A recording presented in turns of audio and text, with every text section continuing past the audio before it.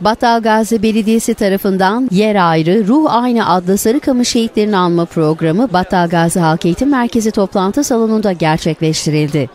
Gönüllerde ve maşeri vicdanda açtığı onulmaz yara kapanmamıştır.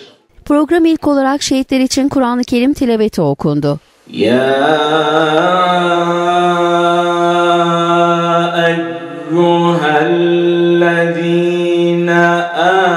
آمنوا استعينوا بالصبر والصلاة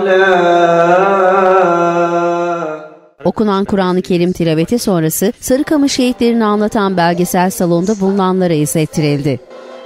Kara kışta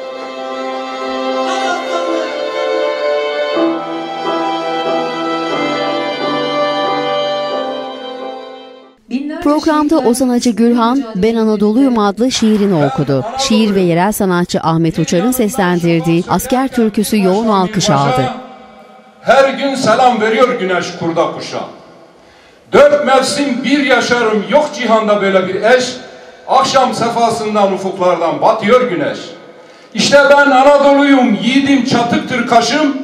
Bir babanın öz oğluyum yedi kardeşim. Ayna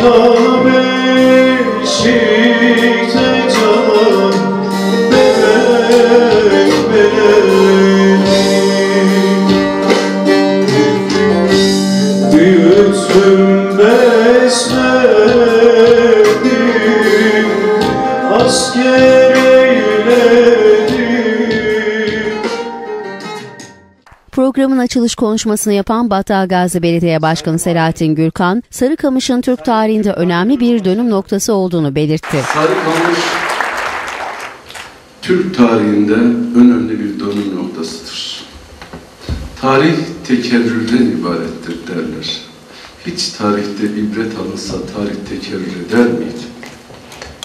Evet, tarih tekerrürden ibarettir ama tarihte ibret almamız lazım.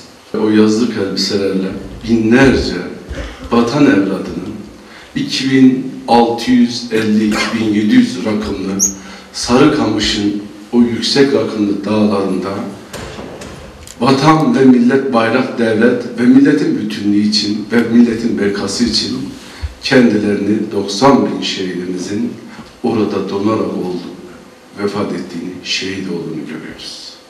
Allah şehitlerimize rahmet etsin.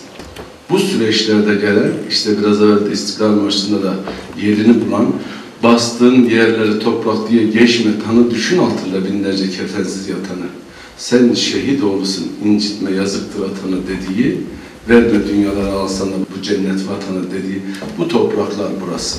Evet, Anadolu hakikaten her tarafı yetimlerini, çocuklarını cepheye göndermiş dul anaların olduğu diyardır. Bu diyar kolay kurtulmadı.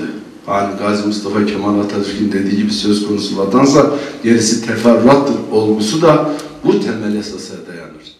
Başkan Gürkan'ın yaptığı konuşmanın ardından Türk Tarih Kurumu Başkanı Profesör Doktor Refik Turan, Yer Ayrı Ruh Aynı adlı sunumunu gerçekleştirdi. Türk Tarih Kurumu Başkanı Profesör Doktor Turan, Sarıkamış şehitleri konusunda katılımcılara bilgiler verdi. Tarihi olayların ağırlığı, tarihi olayların büyüklüğü sonuçlarından belli olur.